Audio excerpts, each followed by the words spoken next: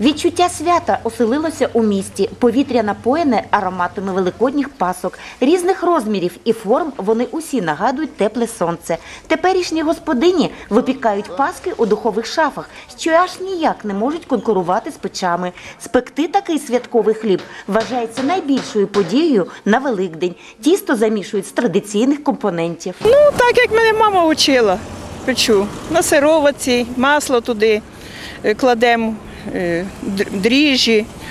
Е, Раніше вона трошки тісто підходить, потім знову я беру, перемішую, чуть-чуть підійшло, знову виложую у форми змащені е, маслом, знову тісто підходить, вже таке гарненьке, змащуємо яєчком і ставимо в гарячу духовочку. Я иногда добавляю корицу просто в тесто, и получается такой специфический вкус.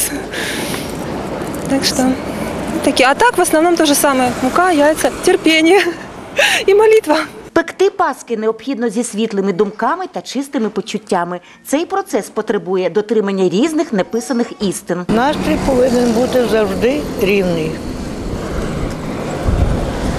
І щоб всім людям було добре. Бажання всім, всім добрим людям.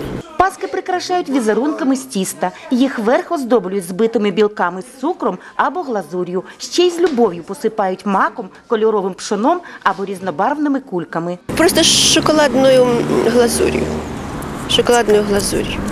Ну, шоколадна глазурь, ну така просто там молоко, цукор, е, е, какао і що там, і трошечки водички.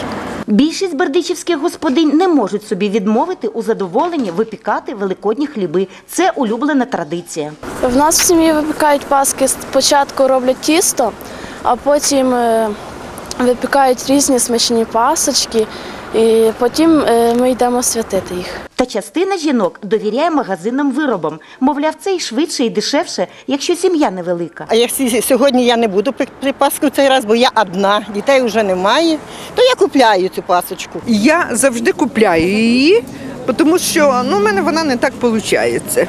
У мене зараз досить невелика має бути сім'я, тобто не буде, як звичайно, застолля великого. От, так що я не дуже готуюся. Ми дві з дочкою якось собі купимо дві штуки. На Великдень обрядові хліби стають головною окрасою святкового столу. Миру і достатку усім бердичівським сім'ям і смачної паски.